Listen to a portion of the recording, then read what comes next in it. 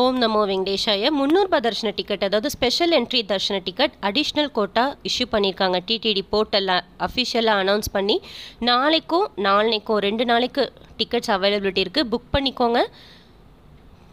Thank you TTD has released additional quota for special entry darshan 300 rupees ticket for the date of 14th and 15 that is tomorrow and for day after tomorrow we can book now. Booking is open. Additional quota they have issued. If you want to book for these two days you can book now. Thank you